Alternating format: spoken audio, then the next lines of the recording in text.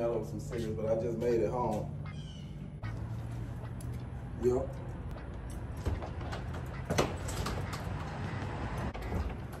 Yeah, let me.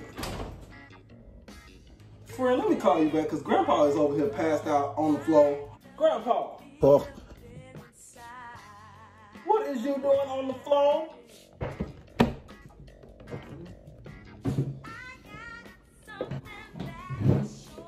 I had uh uh the uh, uh some of that uh Whitney Pink like behind. Pink Whitney.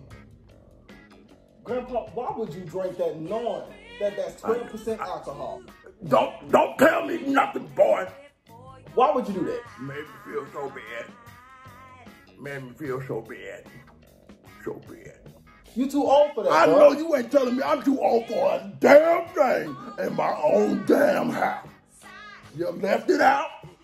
That's why I drunk the shit. Okay, just like damn Jew. And for, wait a minute, hold the hell up.